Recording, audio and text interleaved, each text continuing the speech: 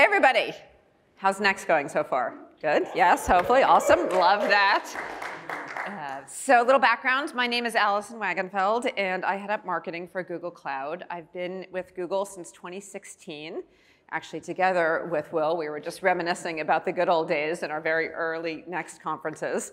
And so we have come a long way, and certainly one of the areas we probably come the farthest is our investment in working together with the startups that are such a core part of what we believe in and in our kind of roots at Google. And so thrilled that you are all here with us today as well.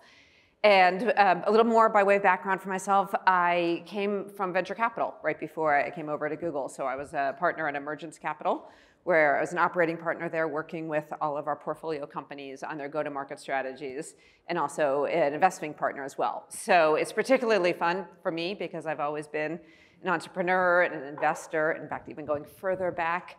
Um, I started my career out in Silicon Valley at Intuit, where I was the founder of Quicken Loans when I was there. So wrote that original business plan and helped scale that before we spun it out and went over to a Kleiner Perkins-backed startup as the second employee myself after that uh, before doing a couple other things, and now, of course, here at Google. So thank you for joining us here today. I am honored to be here with Will Grannis, who's the Chief Technology Officer of Google Cloud, but of course, he has lots of other backgrounds here as well. So actually, we'll take a seat. All right. And uh, welcome. Um, yeah, so yeah. great to be here yes. together with you. We were joking that Will has had many hats here, and in addition to being, I guess, in your pre-Google days, a startup founder, and we'll go back in that um, story as well, but also working now really at scale with Octo, and he even did a stint of helping out in our public sector business as well. So if any of you sell into the public sector at all, be sure to catch Will and ask him a couple of questions about that as well, because he has a lot of unique insights there. So thrilled to be here. Yes, absolutely. Uh, so Alison, an icon in the startup world. I feel like I'm uh, in your shadow today, but that's okay because uh, you know a lot of a lot of uh, the inspiration for coming to Google was to unlock uh, what we saw, what I saw from outside as really interesting capabilities and unlock that for everybody. And uh, fun fact, you know, our business is built. GCP was built on startups and digital natives scaling very quickly. And then the enterprises came, you know, in kind of the normal adoption curve. So one, I really appreciate all of you and your investment in time and, you know, patience as we learn to get things right in the platform and our documentation and our quick starts. But you know, it's companies like yours that built GCP in the first place. And I, I really strongly believe it's going to be companies like yours that keep the momentum going and help us achieve our goals. So thank you so much for being here. Um, as Alison mentioned, uh, so, you know, I'm probably not the, the fanciest, you know, founder of all time. I have started, uh, you know, a couple companies. I've been an early stage employee in companies. I've done everything from modified digital signal processors to shoot out energy in a certain way. So, you know, we can, we can close the link on L-band satellite transceivers and do some things in the advanced telco world. Um, and I've also been on the other side, uh, having been investor, advisor. I'm advisor here at uh, Google Ventures, Google Capital, uh, been on the Defense Innovation Board with Eric Schmidt uh, here. So for those of you in the public sector and looking to, you know, apply technology for public good, uh, you know, happy to happy to chat. Uh, but I think like the sum of all those experiences have, uh, it's been an odd journey for me. So, you know, kind of lots of small companies, lots of big companies, um, I've worked in for three Fortune 100s as kind of an advanced R&D weirdo, someone who's trying to like plow the ground for the rest of the business that no one really understands. Um, so maybe you can identify with some of that because you're trying to lead a market sometimes uh, in ways that you know bigger companies don't understand, and so you're taking advantage of that dislocation. Um, that's really my job here too at Google. So as the CTO, um, I think the reason I'm a CTO here is because I built stuff. And we were looking for someone who built a lot of things in the enterprise, who had been here for a sufficient amount of time to know something a little bit about a lot, because it's impossible for one person to know everything about everything. So I do, you know, have my strengths and weaknesses as well. Um, but the CTO, I'm gonna, can I let them in on a little secret? Uh, it's, sure. Okay. Well, I mean, I should say it depends, but sure, go for it. Okay, great. uh, yeah, here we go. Alison's like, oh, we didn't, we didn't rehearse this. Okay, so um, you know, the CTO origin story, I think it's important for you to know that the DNA of Google Cloud was always trying to be very mindful of building a bridge from our technology uh, to all of you. And so we didn't have a CTO function when I showed up. And for a year, you know, I was working on some of these kind of like first of use cases with some, uh, you know, digital natives uh, like you know Shopify and Spotify and others who are you know foundational customers now. And after about a year of doing that, you know, I got a phone call one day, and you know, Urs and you know Diane Greene at the time, yeah, Brian Stevens, and Brian Stevens, who's the head of product, they said, you know what? We really should solidify our bridge between our technology and the people that need to understand how best to use it in really the most complex scenarios. And my guess is most of those are going to be in areas where you're at because you're pressing the platform in a way that you know, isn't necessarily like a big kind of pattern, it's actually an emergent pattern. Um, and so in a lot of ways, our team was designed uh, to be very helpful to you know, companies like yours. And I'm extremely uh, happy with how things have gone with some of those early customers, and I hope you know, that we can also uh, help in your journey. And so I'm looking forward to your engagement in this session and, and beyond. Yeah, I mean, I remember when we named the group, actually. Oh my gosh. This was like, so it was like, should it be the CTO office? And then it was like, okay, well, we the office of the CTO. So that's where the Octo thing came in.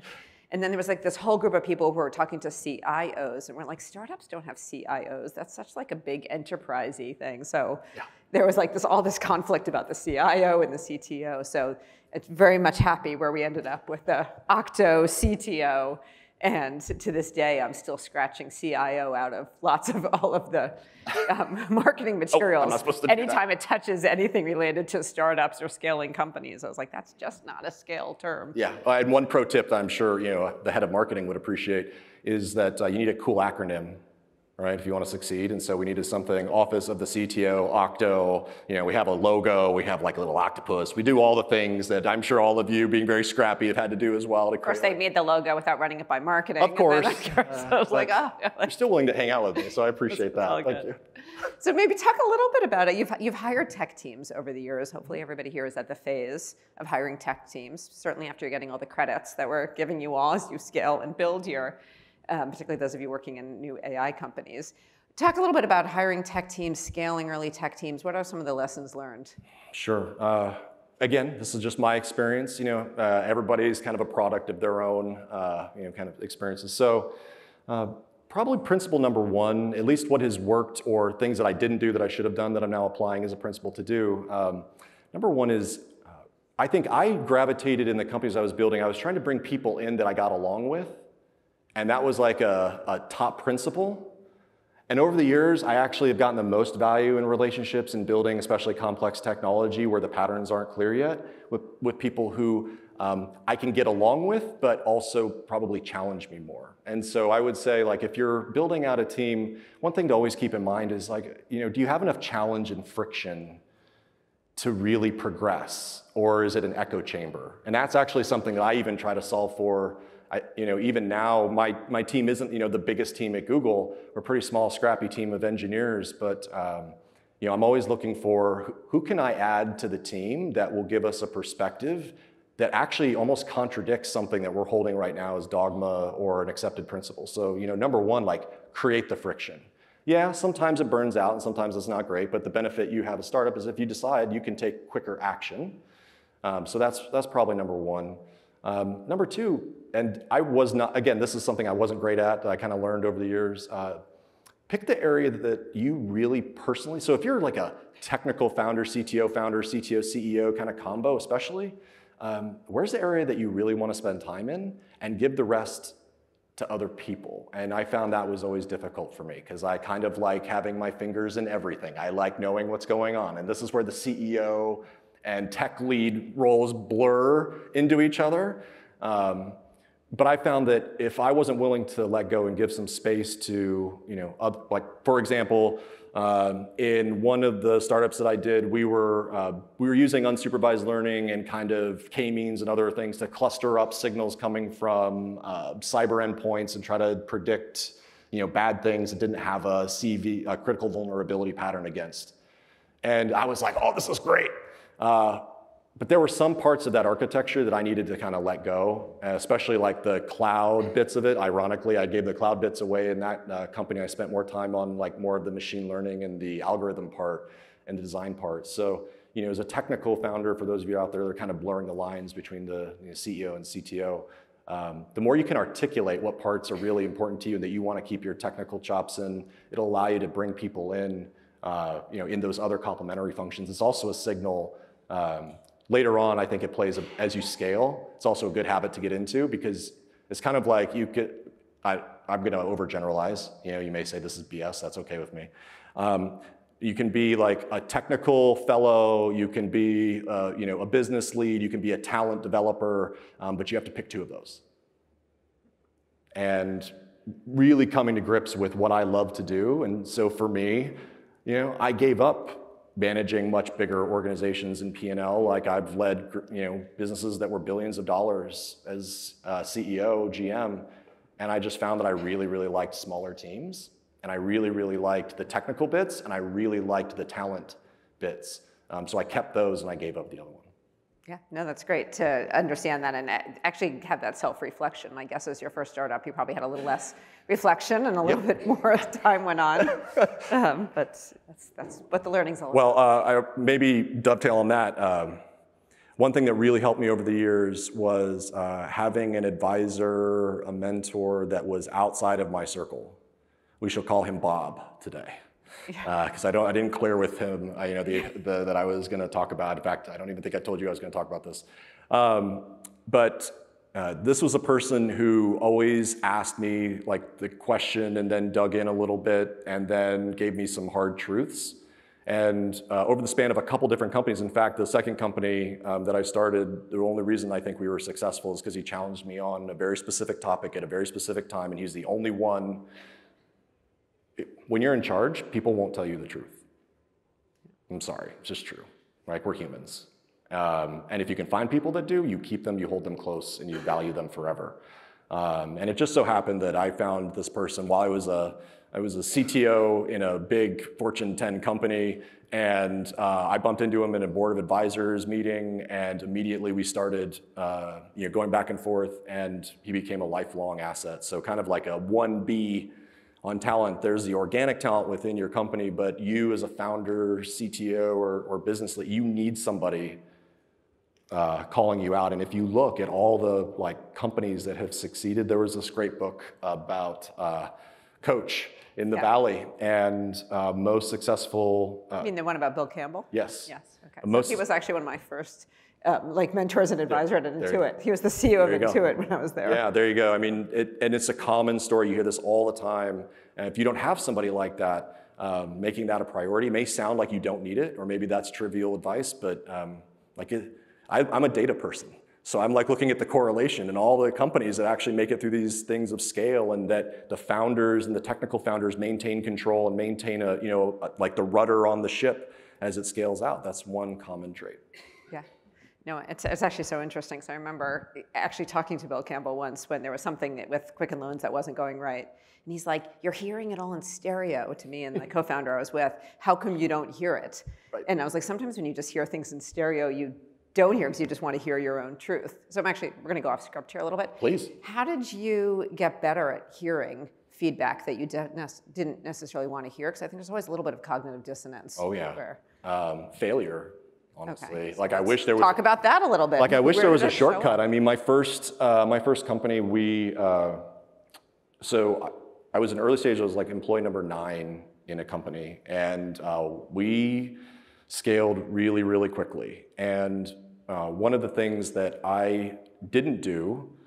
Uh, was I was given I was given a lot of like early signals about hey you know uh, we really need to think about the manufacturing like how we're going to scale out manufacturing of this this was a this was the satellite L-band transceiver thing that I was talking about earlier. And you know, I kept I kept thinking about like, you know, we'll be able to solve that problem, we'll be able to solve that problem, the value is somewhere else. I kept getting a lot of advice that actually, no, you really need to think about this from people who knew. And uh, it turned out that we had a pretty catastrophic event where uh, our manufacturing quality went down. And oh, by the way, like it turned out that, you know, lessons learned hard are the best. Uh, I, at, at some point in the future, I was actually pressure test, so the pressure seals failed. And that's not really good when you're taking L-band uh, satellite transceivers and you're putting them on aircraft or you're putting them on other things, like pressure is a big deal, oops. And uh, so to teach me a lesson, like I went and I had to go like manually test pressure seals for like a month or two and figure out how to do it well. and uh, you know, it's a small trivial example, but I, I think you probably, uh, my guess is on any given day, any given week, you bump into a scenario where um, you know, you've kind of taken a hit on something and maybe just encourage you to take a step back and kind of look for root cause and see if there's actually a time when someone was trying to coach you away from that decision. Uh, we usually don't take the second step. We usually just analyze the problem as engineers and then like find the solution, but actually finding the source maybe of the tremors that could have tipped you off. Um, that's actually a lot of what we do in the CTO office now because we get stuff wrong all the time. We, we take on you know, 10, 20 projects a year and we'll fail in six or seven of them. Um, but you know, it's as applicable in a small group of engineers inside a big company as it is to you know, startups trying to, I think, I think, you know, trying to figure out how to like increase the learning rate. Um, but you know, go to the source, like do a real root cause, but on the people side, not on the engineering side. And you may discover that there are some people in your org you need to listen to a little bit more, or there are some people outside of your org you need to hire. Yeah, no, those are really great reflections. So thank you for sharing. Yeah. Painful. exactly. Sorry to bring you I back. I know all about pressure seals, by the way. If anybody wants to talk, I know all about them. right, fair enough. So let's talk about scale a little bit. Hopefully, this group is at a phase in your companies where you're now scaling. What are some lessons learned, things to think about? And when working with Google Cloud specifically, what are some the kind of advice you've been giving out to companies as they've been scaling? Uh, sure. Uh, so it sneaks up on you, has been my experience. Uh, I'd love to say perfect planning, you know, and I've always had great foresight and a crystal ball, but usually there's some event that happens or some trigger that happens. It's exogenous. It's hard to predict with, you know, because you, are the expert in your area and you're the expert in, the, you know, the use case and the domain that you deal with. So there's usually like these things that happen, and all of a sudden you've got to deal with uh, kind of the success disaster. Um, so I don't think I, I, try to be very pragmatic in how I spend my time, and one of the places I haven't spent my time enough in over the years is in building relationships and partnerships when I didn't need them. And uh, so when you're rapidly trying to scale, what you find is you're going to need help with that usually. And so the more that you can get out and find kind of like communities for you know things that you might anticipate you would need for scale. So if some of you are still doing like lots of stuff on-prem and you're just starting out into cloud, you know, there's communities that exist both like within the startup community, but also like there are some communities that exist for successful, you know, founders that have moved to cloud, and there are some best practices there that you can take advantage of. You know, almost like networking ahead of the current demand um, is one thing that uh, might be useful for you. Uh, the leadership team composition is a really big deal. Uh, and I mean, this is an area you're, a, you know, world expert in. My, you know, two cents is um, thinking about the construction of the leadership team for scale because you want to give people some time to get some reps in your business before you need them to go out and represent your business on a much bigger scale. Um, so uh, I think of like great pairs. You know, like pair programming works in my experience. Well, it also works as like find your pair. So if you're a, like a technical founder, find your uh, find your Sheryl. You know, like find your Safra, you know, find your, you know, Eric. Uh, you know, these are all business people that appended themselves earlier on, you know, to a, biz, uh, to a technical founder, and the pair really created some magic. And so, really thinking about that orchestration before you need it, because you know, the Sheryl and the Safra and the Erics, they also need to understand the business before they can help you scale. And that learning curve takes some time. And we often underestimate, like, one of the big failure modes is going to hire externally for scale. They don't understand your business. They haven't had the time to understand the technical foundations. And so then when they go to represent like the value you create or the business model, they're not actually creating leverage for you. They're creating more work for you because you have to go and loop behind them and then go explain all the things, yeah. right? Uh, so that couple of couple of thoughts. Yeah, no, it's great. It sounds like a lot of it is, you know, what I keep hearing you refer to as the team and the people yeah, that you surround yourselves sure. with, because you just you don't know exactly which direction anything is going to go. So if you have the right balance there. So I want to switch gears again now and talk about AI. Because that is um, front and center in case you haven't caught up on that here at Next and everywhere um, in the world every day. So, what are you seeing right now with the companies that you're working with at Octo and with all of the communities of startups in AI? What are some like two or three insights that you think that are particularly relevant for this group? Sure. Uh, one is uh, depending on where you sit in like the AI value creation chain, you know, like some people are building models, Some people are wrapping services around models, so it doesn't just have to be a product-oriented company. It could be a service-oriented company that's really, you know, and there are examples of companies killing it right now, you know, on what I call like the ends of the spectrum. So from like, you know, building the models themselves all the way out to like professional services wrapped around, you know, a specific use case, specific industry, or specific segment. Um, there are a lot of different paths to success. And uh, I would say probably two to three years ago, GCP was really, really capable for kind of the, um, like you need an ops platform that'll smooth out some of like, uh, you know, it, it, ne- it, wouldn't necessarily create some of the intellectual property advantage on the model side, but it was a really good place to start and experiment and uh, start to learn how to like actually deploy ML on a consistent basis with ML ops, but it's very generic.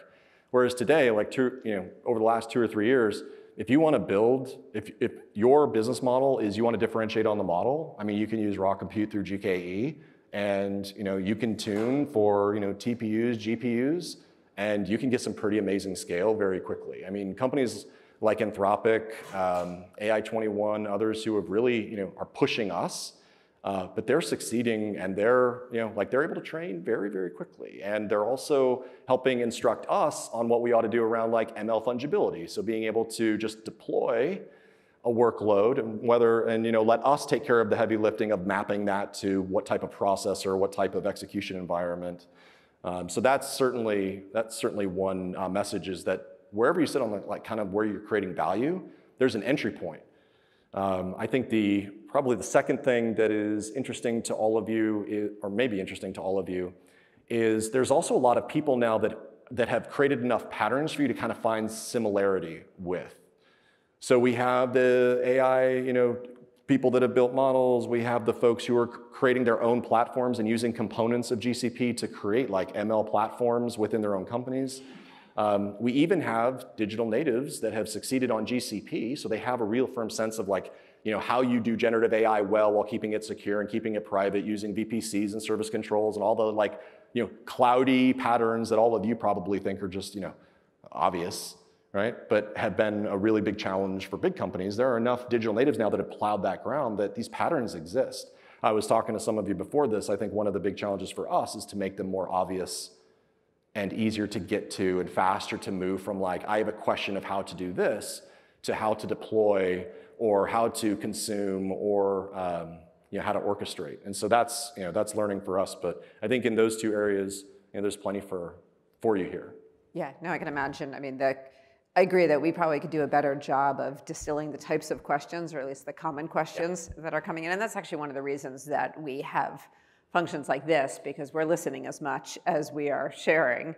And actually, I should mention, you probably know this, but we do have these generative AI live in labs events around the country. So if you look at our website, you can see when some of those are happening and if it's appropriate, you can go there and meet with some of our customer engineers or some members of our team to go deeper into some real kind of specific technical use cases there. And that's also part of why we have the AI startups program so that there's again these peer groups yeah. you said that are really critical. Yeah, like if you're generating, uh, you know, marketing content, for example, like you should talk to Canva. And if you're doing it across multiple languages or geographies, like they're an awesome company who's figured out how to use GCP to take like content and you know translate it super fast and super efficiently. And that's what I mean by like there are companies in almost like every segment or every problem space is a question of just like I think surfacing it and also being willing to share what you're really after. One of the things that we see a lot in our early work with, um, especially small companies, is this perception that like, you know, we're going to share with you something very, very sensitive about our business, about how we want to create value, and then like Google's going to take that and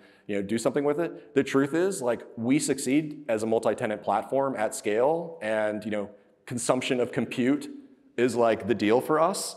And so we're not going to extend into a whole bunch of like bespoke software and bespoke like journeys because that is fragile and it's not a good business for us. So it's okay, don't be afraid. Please like share what you're actually trying to accomplish so that we don't like lay stupid templates on top of what you're trying to do and you're like, oh, that was such a waste of time. And I feel like we just spent six meetings with Google and we didn't get like anything useful. Like tell us how you're trying to create value. And uh, the companies that are you know, on the reference list, they've all you know, kind of come to that place where they're now sharing very openly like their problems with XLA and some of the things that sit underneath the hood of like optimizing performance on us. And as a result, like stuff's getting put into the roadmap and getting done. Yeah, so that gets right into what my last question was going to be. And then I think we have time for a few questions yeah. from this group. So if you want to be like thinking about anything that you'd like to ask, well, I'm also happy to answer anything as well.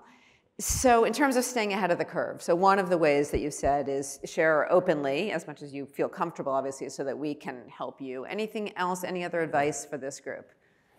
Oh, let's see. Um, well, I mean, I should be getting advice from all of you because you're building the future. Um, maybe a couple of things. Uh, one, speed is your ally. Uh, one of the things I bump into a lot that takes speed away is trying to do too many things. Um, it may seem counterintuitive, but like doing, and, and this is like the, always the, you know, it's like, this is in every book, right? Or every pitch or every like, you know, coaching you've probably gotten from any investor is like, do this thing, do it really well, do it really fast. And I'm just gonna say it too. Do one thing, do it really well, and do it really fast because we've seen some companies, because generative AI is, is kind of spinning so quickly, what's happening is there's like this shockwave, and companies think that they have to like pivot to the newest like approach or thing and what it does is it slows you down. Um, so I would argue that sometimes it's counterintuitive, but you may have to put the blinders on a little bit to all of like the fast spinning, you know, goo coming at you and kind of stick to your guns and try to create kind of linked value so that you know what you're building and how you're taking it to market and the operations that support it and the people that you hire, all those things match. Because uh, a classic example of this is when a company tells me they're a product-based company and then um, they're doing a bunch of professional services engagements because they believe that that's the only way to keep their company alive. And so they hire a bunch of professional services and they don't ever get to the product bit. And they get valued in, on professional services and that's not what they wanted. Listen, I, I, services companies are awesome businesses to be. They are awesome. But you've got to have the right like business processes, talent, like value proposition to match it and pull technology you need to actually make that happen and not too much. If you're a product company, like which part are you trying to optimize? And I think that that's one of the, the goods, like we put out so much at one time, but it's also one of the risks is that there's so much that it's easy to get distracted and try to do too many things.